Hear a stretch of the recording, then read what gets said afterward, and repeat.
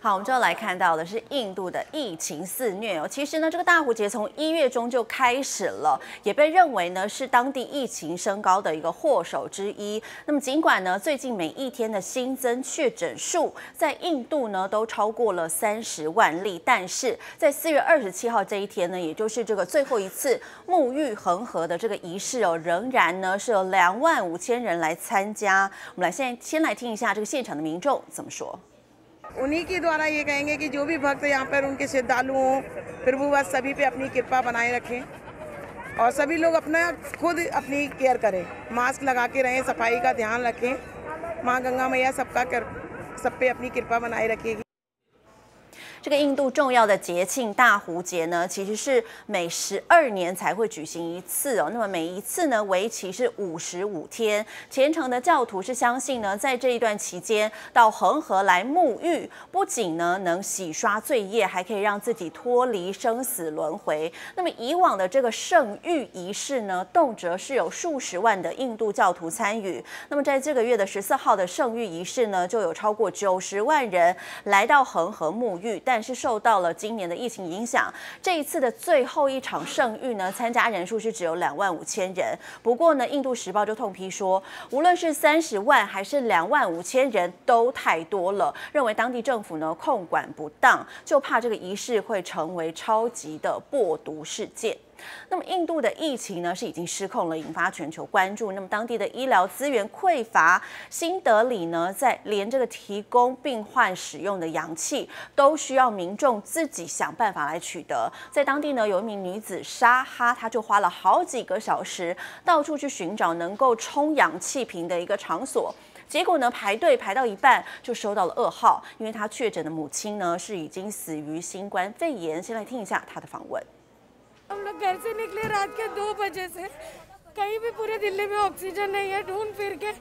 फाइनली यहाँ पे हम लोग रात के साढ़े तीन, चार बजे तक पहुँचे। पीछे लाइन लगा रहे थे। बाद में मालूम पड़ा कि आके आना है। अभी इनका कहना है कि प्रिस्क्रिप्शन लेके मेरी मम्मी बहुत सीरियस है। और लोग दो दिन से पूरे दिल्ली के हॉस्पिटलों में बेड ट्राई कर रहे हैं।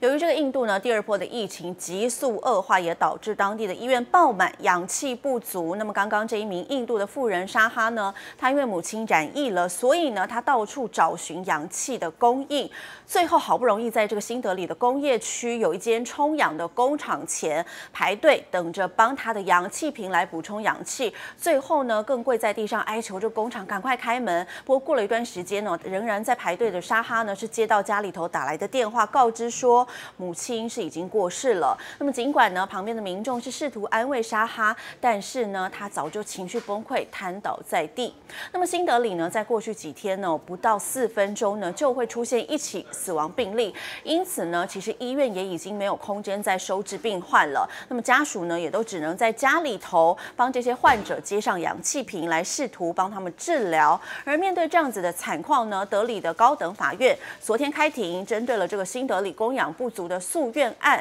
来审理，在听取了诉愿方跟中央政府两方的陈词时，法院再度对新德里没有获得足够的氧气供应提出了谴责，认为说呢，这个疫情爆发以来哦，印度的中央政府的应对能力失能。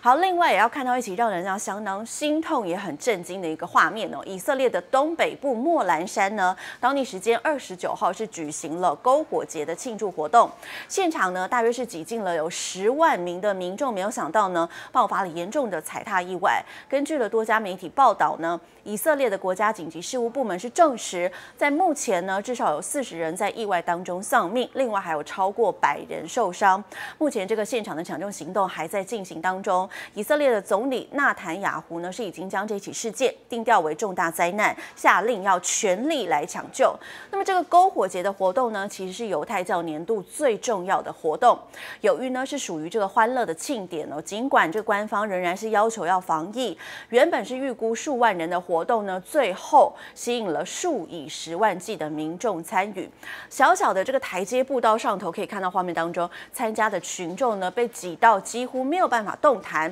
根据 CNN 报道呢，这个踩踏悲剧的原因哦，一开始传出呢是疑似有看台倒塌，但根据现场记者还有目击者描述呢，很有可能是因为有人潮当中有民众跌倒了，才会发生不幸的意外。以色列警方呢目前正在试图厘清大量伤亡的真正原因。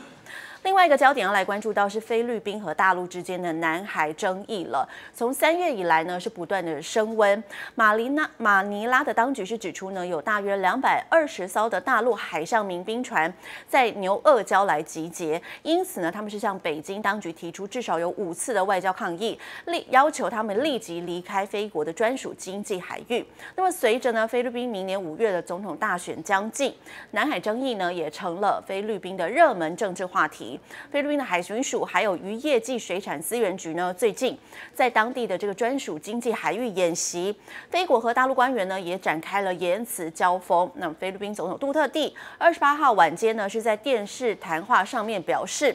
我们不想和大陆开战，大陆是个好朋友，我们欠了很多感谢，当中也包括了大陆捐赠的疫苗。不过杜特地也强调了，但有些事情呢，真的不能让步。我希望他们能够理解，我也有我的国家利益要保护。那么对此呢，立场激进的菲律宾渔民组织就发表声明说。也批评这个杜特地把菲国的主权呢当成换取大陆疫苗的筹码，形容杜特地是傀儡，还说呢杜特地把这个傀儡角色带到了一个全新的高度。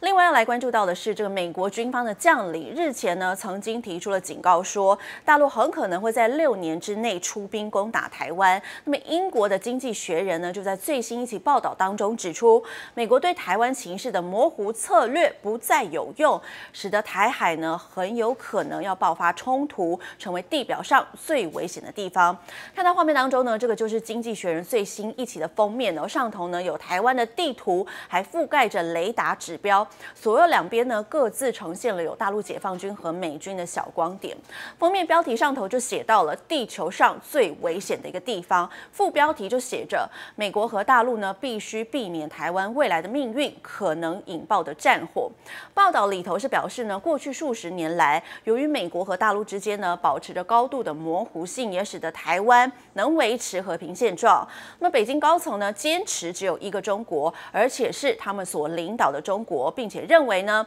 台湾是叛乱的一个省。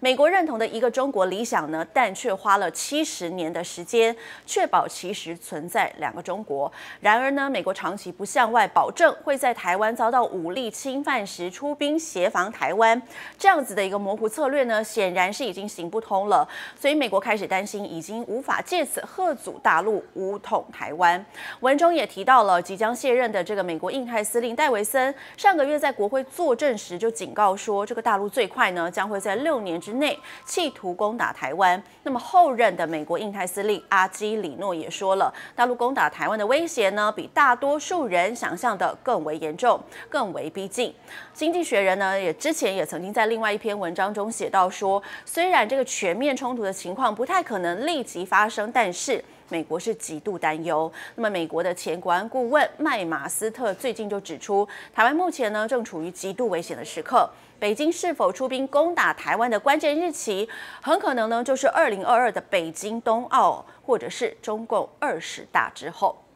您想知道最到位的国际时事分析、最精准的国际趋势解读，请立刻订阅全球大视野频道。这是中天的国际频道，你也可以到中天电视频道的首页找到全球大视野频道，点击进入之后呢，立刻订阅、按赞、分享、开启小铃铛。浏览完影片之后呢，不要忘记按赞、留言，请大家来冲一波订阅全球大视野频道。